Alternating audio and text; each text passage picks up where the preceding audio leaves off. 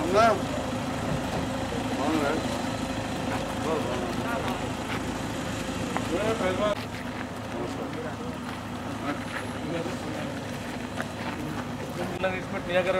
ఆ, ఎంత ప్రేమ ఉంటే పెట్టాలి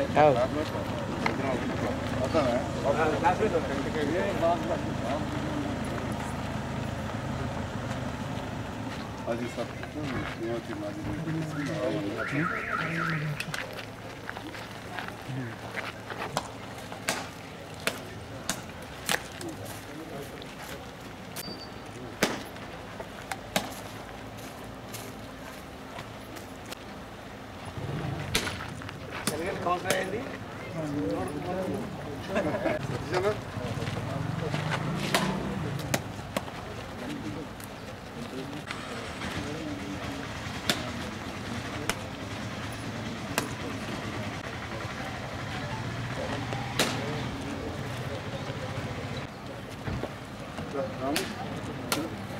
రమ్మ కొట్టినట్టు రమ్మ కత్తెర కొట్టి నువ్వు కొట్టే పని లేదు ఆ?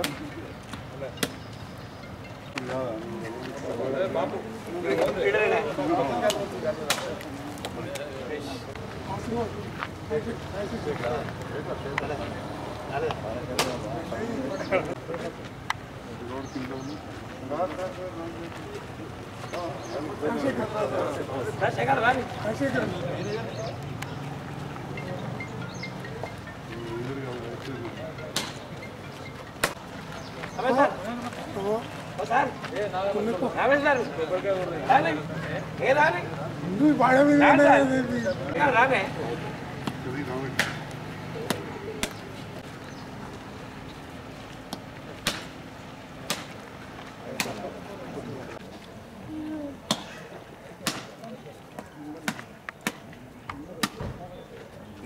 ఈ రోజున పట్టణంలో చాలా వరకు కూడా ప్రభుత్వ కార్యప కార్యకలాపాలు జరిగేటువంటి స్థలం ఈ ప్రాంతం దరూర్ క్యాంప్ ఏరియా.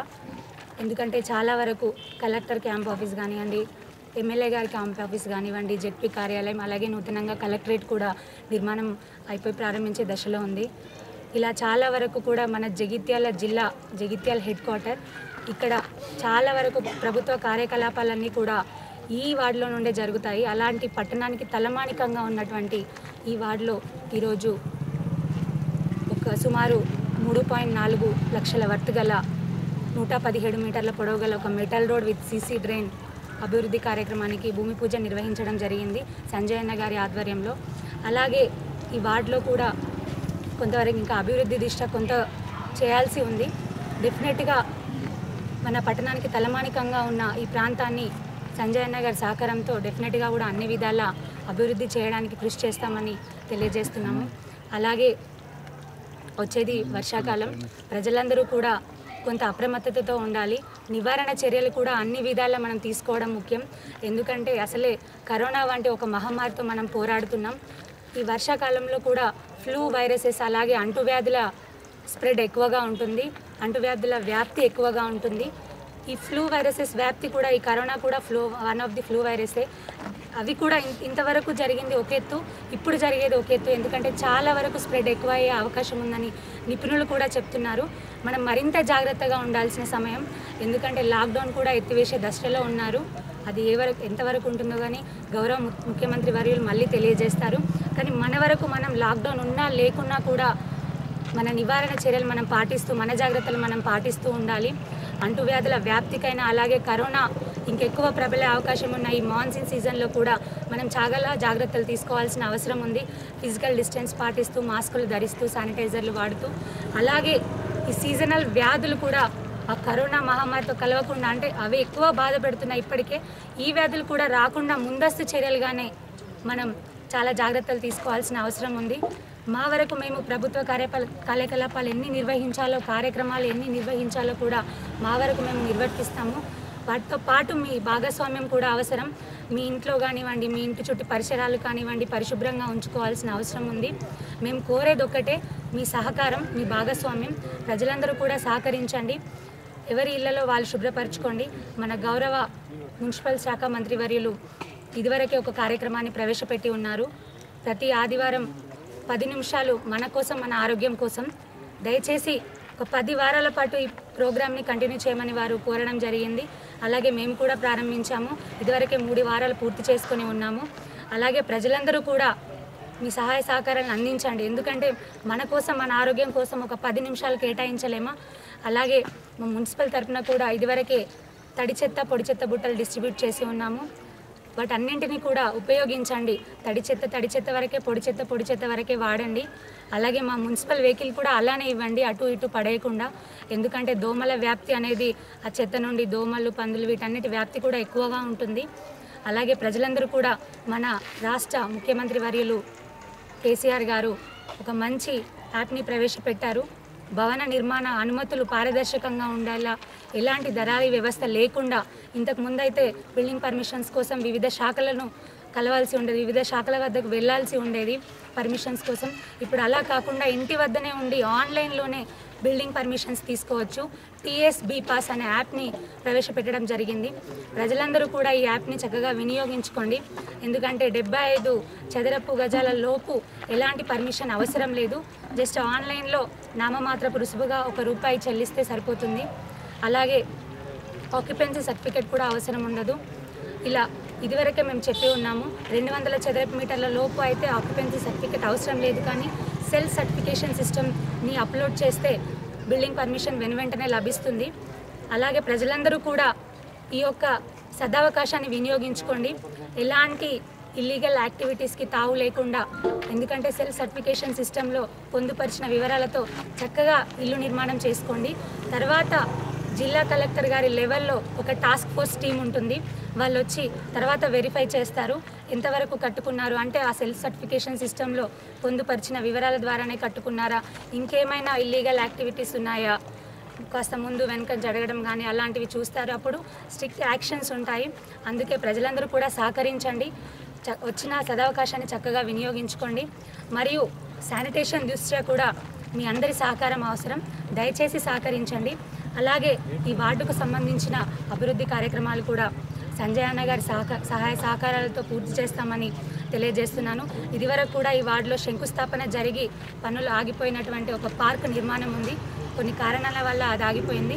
డెఫినెట్గా సంజయ్ నాయర్ గారి సూచనల మేరకు తొందరలోనే దాన్ని ప్రారంభించి ప్రజలకు అందుబాటులోకి తీసుకొస్తామని ఈ సందర్భంగా నేను తెలియజేస్తున్నాను. మరియు చాలా పనులతో బిజీగా ఉన్నా కూడా మనకు తన వినివయ సమయాన్ని కేటాయించి ఇక్కడికి విచ్చేసినటువంటి గౌరవ శాసనసభ్యులు డాక్టర్ సంజయ్ అన్న గారికి మరియు మమ్మల్ని ఇక్కడికి ఆహ్వానించినందుకు ఇక్కడ కౌన్సిలర్ గారు వద్ది శ్రీలత రాము గారికి వచ్చేసిన పెద్దలందరికీ కూడా పేరు పేరున మరొకసారి హృదయపూర్వక ధన్యవాదాలు తెలియజేస్తున్నాను. థ్యాంక్ యూ జగిత్యాల పట్టణం అతి పురాతనమైన పట్టణంలో ఒకటి. చాలా ఓల్డ్ మున్సిపాలిటీ. ఇప్పుడు జిల్లా కేంద్రంగా మారి చాలా వేగంగా అభివృద్ధి చెందుతూ ఉంది. కానీ గతంలో మరి ఈ ప్రాంతంలో ఎక్కడ చూసినా ఎక్కడ చూసినా కానీ ఒక లేఅవుట్ లేకుండా ఎక్కడికక్కడ నిర్మాణాలు జరగడం మరి ఆ ప్రాంతాలు కూడా ఎలాంటి అభివృద్ధికి నోచుకోలేదు మామూలుగా కణిలు పెట్టుడు ప్లాట్లు అమ్ముడు. వాస్తవానికి ఒక లేఅవుట్ ప్రకారం అట్లీస్ట్ రోడ్ ఫార్మేషన్ అనే ఉండాలి. అదేవిధంగా ప్రతి చోట్ల ఉంది. ఇంత విలువైన భూములు చాలామంది పెద్దలు విద్యావంతులు ఉన్న ప్రాంతం కూడా దానికేం అతీతం కాదన్నట్టు గది ఇరవై ఫీట్ల రోడ్లు ఇరవై ఒక్క ఫీట్ల రోడ్లలో ఉన్నాయి. అంతకుముందు ఇదంతా కూడా లింగంపేట శివారు ఆ రకంగా ఉండేది. ఆ పర్మిషన్స్ కూడా గ్రామ స్థాయిలో చాలామంది తీసుకున్నారు. మరి ఇప్పుడు పరిస్థితిని ప్రజలందరూ కూడా అర్థం చేసుకోవాలి. ఇంతకుముందు చైర్మన్ గారు చెప్పినట్టు రోడ్లన్నీ కూడా కొద్దిగా పెద్దగా పర్మిషన్ ప్రకారం ఇల్లు కట్టుకోవాల్సిన అవసరం ఉంది. మరి ఇది ఇప్పటికే అందరు చాలామంది కట్టుకున్నారు. ఉన్న దాంట్లో సీసీ రోడ్డు డ్రైన్కు ఇప్పుడు భూమి పూజ చేసుకోవడం జరుగుతూ ఉంది. చాలా మటుకు కూడా ఓపెన్ డ్రైన్ విధానమే ఉన్నది. ఇక ముందైనా మార్చుకోవాలి. ఎట్లయినా కానీ ఇంత పెద్ద పట్టణం లక్ష పదివేల జనాభా దాదాపు ఇరవై స్క్వేర్ కిలోమీటర్లు ఇరవై కిలోమీటర్ల వైశాల్యంతో ఉన్న పట్టణం మరి. ఇప్పటికిప్పుడే మనం మార్చలేము కొంత సమయం పట్టవచ్చు. కానీ ఇప్పటి నుంచి ఏదైతే కార్యక్రమాలు జరుగుతాయో అవి కొంత ముందు తరాల గురించి కూడా కొద్దిగా ఆలోచించుకొని మనం ముందడికి పోవాలి. ఇదే విషయాన్ని నేను పదే పదే పోయిన ఎలక్షన్లప్పటి నుంచి కూడా చెప్తా ఉన్నాం. ఈ లోపల ఎప్పుడు కూడా ఏదో ఎలక్షన్ రావడం జరిగింది. మన మున్సిపల్ ఎలక్షన్స్ కూడా దాదాపు చాలా లేట్గా జరిగినాయి. మూడు నాలుగు నెలలు కోర్టు కేసు నుంచి పోస్ట్ మరి ఇప్పుడు మంచి చదువుకున్న విద్యావంతులందరూ కూడా యువతి యువకులు కౌన్సిలర్లుగా చైర్మన్లుగా వచ్చారు. మరి వాళ్ళతో పాటు ప్రజలు కూడా భాగస్వామ్యం ఉండాలి. ప్రజలందరూ కూడా మరి ఈ పట్టణ అభివృద్ధి గురించి పరిశుభ్రత గురించి ఆలోచన చేయాలి. ఎందుకంటే మునుపటి కాలం కాదు ప్రతి వాళ్ళకు కూడా కార్లు ఉంటున్నాయి. లేదా ఆ ప్రాంతానికి పెద్ద పెద్ద బంగ్లాలు కాబట్టి ఫైర్ ఇంజన్లు అంబులెన్స్లు రావాల్సిన పరిస్థితి ఉంటుంది కాబట్టి అదేవిధంగా కొత్త వాళ్ళు కన్స్ట్రక్షన్ చేసుకుంటే కూడా ట్రక్కులు లారీలు ఆటోలు అన్నీ వచ్చే మన ట్రాక్టర్లు వచ్చే అవసరం ఉంది. అవి తిరగాలి. కాబట్టి మినిమం ముప్పై ఫీట్ల రోడ్లతోటి అందరూ కూడా పెట్టుకోవాలి. ఏదేమైనా కానీ పాత వాటి ఎక్కడ కూడా డిస్టర్బ్ చేసేది ఏం లేదు. ఇంతకుముందు చెప్పినట్టు ఇక ముందు కట్టే నిర్మాణాలు ఒక ఖచ్చితంగా నిబంధనలకు అనుగుణంగా ఉండాలి. ఆ చర్యలు తీసుకోవాలని కూడా నేను కమిషనర్ గారిని అందరినీ కూడా ఇవాళ మీడియా కోరుతా ఉన్నాం ప్రజలు కూడా సహకరించాలి. ప్రజల సహకారం లేనిది ఎవరు కూడా ఏం చేయలేరు. ప్రజలు సహకరించాలి. ఇప్పటికే పట్టణ అభివృద్ధి కోసం కొత్త మార్కెట్ల కోసం కూడా ఆలోచన చేయడం జరుగుతుంది. టవర్ కార్డు కూడా పాత మార్కెట్ అట్లే ఉంటుంది. ఇప్పుడు ఏదైతే విద్యానగర్ మార్కెట్ ఉపయోగించుకోవాలి ఈ ప్రాంతానికి కూడా మార్కెట్ లేదు. కాబట్టి ఈ ప్రాంతంలో కూడా ఒక మార్కెట్ ప్లాన్ చేస్తూ ఉన్నాం. నిన్న మొన్నటి నుంచే మరి కమిషనర్ గారు కూడా అడిషనల్ కలెక్టర్ గారు కూడా ఆదేశాలు ఇచ్చారు ఓవరాల్గా. మరి అక్కడ కెనాల్ దగ్గర ఆ మూల మీద ప్రభుత్వ స్థలం ఇరిగేషన్ జరుగుతుందో అదంతా కూడా క్లీన్ చేయడానికి ఇప్పటికే పనులు మొదలైనవి అవన్నీ కూడా చేస్తూ ఉన్నాం. ప్రజలందరూ సహకారం కూడా ఉండాలి. ఒకటే ఉద్దేశం ఈ పట్టణాన్ని మనం ఒక మంచి సుందరంగా తీర్చిదిద్దుకోవాలి. దురదృష్టవశాత్తు కరెక్ట్ టైంలో మేము అన్ని ఎలక్షన్లు అయిపోయినాయి. గౌరవ ముఖ్యమంత్రి గారు కేటీ రామారావు గారు కూడా నెలకు తొంభై లక్షల రూపాయలు అదనంగా కేంద్ర రాష్ట్ర ప్రభుత్వాలై ఇవ్వడం జరుగుతూ ఉంది. నాలుగు నెలల్లో ఒక మూడున్నర కోట్లు కూడా వచ్చినాయి. మూడు కోట్ల రూపాయలు ఇప్పుడు మనకు మిగులు కూడా ఉంది. అంటే పట్టణాన్ని డెవలప్ చేసుకోవాలంటే మినిమం ఒక యాభై కోట్లు కావాలి. అంతకుముందు ఇచ్చిన యాభై కోట్లేమో మాకు ఖర్చు పెడదామంటే పాత కౌన్సిల్ దిగిపోయేంత వరకు మాకు అనుమతి ఇవ్వలే. ఆ కౌన్సిల్ దిగిపోయిన తర్వాత స్పెషల్ ఆఫీసర్ గారైన కలెక్టర్ గారితో పర్మిషన్ తీసుకొని మేము కొంత వాళ్ళకు కాంట్రాక్టర్లు చాలా ఇబ్బంది పడ్డారు. అప్పటికే టెండర్లు వేసి పని చేసుకున్న వాళ్ళకి ఒక్కొక్కరికి ఎనిమిది తొమ్మిది నెలలు బిల్లులు రాలే. అయినా కానీ కొందరు మా పైన నమ్మకం ఉంచి వాళ్ళు చేసిరు కొందరికి బిల్స్ ఇప్పటికే వచ్చినాయి. మిగతాయి కూడా టెండర్లు అయినాయి. పూర్తి చేయాలని కూడా మేము ఆ కాంట్రాక్టర్లను కోరుతా ఉన్నాం. మరి ఇప్పుడున్న పరిస్థితులు మీ అందరూ తెలుసు. దేశ ఆర్థిక పరిస్థితే కాదు ప్రపంచ ఆర్థిక ఆర్థిక పరిస్థితే మంచిగా లేదు. ప్రపంచంలో ఏ ప్రభుత్వం దగ్గర పైసలు లేని పరిస్థితి ఏర్పడ్డది. జీతాలు ఇవ్వడమే కష్టంగా నడుస్తూ ఉంది. ఈ సందర్భంలో ఉన్న కొద్దిపాటి డబ్బును సద్వినియోగం చేసుకుంటూ మరి మున్సిపల్ చైర్పర్సన్ గారిని కమిషనర్ గారిని కౌన్సిలర్స్ కూడా కోరుతా ఉన్నా అభివృద్ధి ఎక్కడెక్కడైతే ఖచ్చితంగా అవసరం ఉందో వెనుకబడ్డ ప్రాంతాలలో చేయాలి. అదేవిధంగా ప్రజలు కూడా అర్థం చేసుకోవాలి. ఇప్పటికిప్పుడే ప్రభుత్వం వచ్చి మొత్తం చేసే పరిస్థితి లేదు. ప్రజలు అంటు రోగాలు రాకుండా పరిశుభ్రతను కాపాడుకోవాలి. తడి చెత్త పొడి చెత్త వేరు చేసి ఇవ్వాలి ప్లాస్టిక్ను ఎంత వీలైతే అంత తక్కువ వాడాల్సిన అవసరం ఉన్నది. ఆ ప్లాస్టిక్ పైన మీరు కూడా మున్సిపల్ కమిషనర్ గారు చైర్మన్ గారు కౌన్సిలర్స్ అందరూ కూడా ఒక యుద్ధం మొదలుపెట్టారు. కరెక్ట్ అది ప్లాన్ చేసినాక ఒక నాలుగైదు రోజులకి ఈ కరోనా ప్రాబ్లం స్టార్ట్ అయింది. దాని తర్వాత మీ అందరు తెలియంది కాదు. ప్రతి వాళ్ళం కూడా దానిపైనే ఎక్కువ శ్రద్ధ పెట్టాం జగిత్యాల జిల్లానే కంట్రోల్ ఉండే. జగిత్యాల పట్టణం నియోజకవర్గం అయితే జీరో కేసెస్ తోటి ఉండే. కానీ ఇవాళ దురదృష్టవశాత్తు మరి మన బిడ్డలే వేరే రాష్ట్రాల నుంచి రావడం ముఖ్యంగా మహారాష్ట్ర నుంచి. అక్కడ కరోనా చాలా అదుపు తప్పింది వాళ్ళందరూ వస్తూ ఉన్నారు. వాళ్ళని ఎక్కడ పంపే పరిస్థితి లేదు. మరి ఆ కేసులు ఇప్పుడు ఎక్కువైనాయి. ఇప్పుడున్న పరిస్థితుల్లో ఎక్కువ కేసులు నమోదవుతున్న ప్రాంతాలలో హైదరాబాద్ కాక మిగతా జిల్లాలో ఇప్పుడు జగిత్యాల ముందుకు వచ్చేసింది మనం పేపర్లలో చూస్తే మరి ప్రజలు అనుకుంటున్నారు కావచ్చు ఏ జగిత్యాల కనబడతలేదని. కానీ వలస కార్మికులు మైగ్రెంట్స్ అని వస్తున్నాయి మెజార్టీ జగిత్యాలు. నిన్న నేను రామాజపేట గ్రామానికి వెళ్ళిన. వెళ్ళేసరికి అప్పుడే వచ్చింది రిపోర్ట్. ఓ పెద్ద మనిషికి వచ్చింది కరోనా పాజిటివ్ అని చెప్పి. ఉటావుటిన గాంధీ ఆసుపత్రికి పంపించినాం. అంటే ఇలాంటి పరిస్థితి ఉంది. ఇప్పటికే కృష్ణానగర్లో ఒకరు బొంబాయి నుంచి వచ్చిన పెద్ద మనిషి చనిపోయింది శ్రీరామ్ నగర్లో కూడా ఒకటి పాజిటివ్ వచ్చింది. నిన్న సాయంత్రం మళ్ళీ ఈరోజు కథ ఇప్పుడు చూడాలి. ప్రజలందరూ కూడా అప్రమత్తంగా ఉండాలి.